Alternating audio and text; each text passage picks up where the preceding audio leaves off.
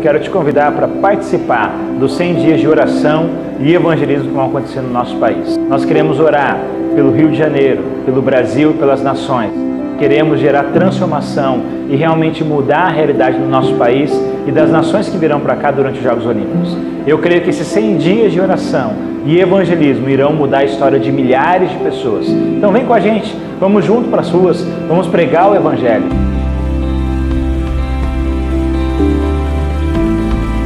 Eu sou a Miriam, coordenadora do Movimento Braços Abertos 2016 e nós vamos juntos. Vamos juntos, vamos juntos. Vamos juntos por 100 dias de evangelismo e oração. Participe conosco.